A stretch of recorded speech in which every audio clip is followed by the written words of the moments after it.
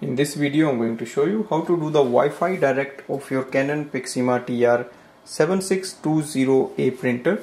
So that's the inbuilt Wi-Fi. So I'll show you how to find the password and then use that to connect with your Android phone for wireless printing and scanning. Now go to the printer screen. Click on the wireless button. Select wireless direct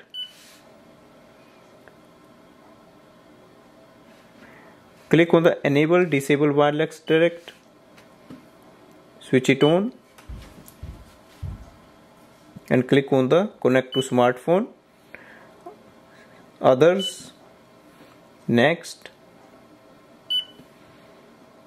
Again you can click on the show password.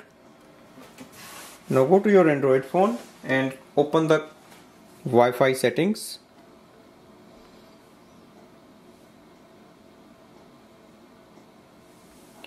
wait for the printer Wi-Fi to show up.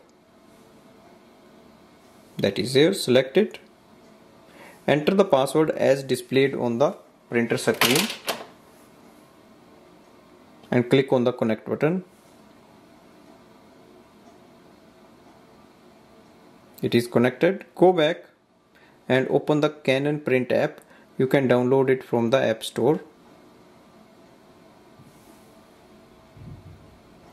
here we have to add the printer. So click on this printer icon. Click on the add switch.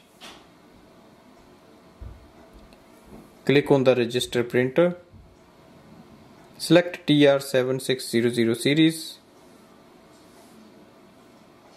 Printer is connected.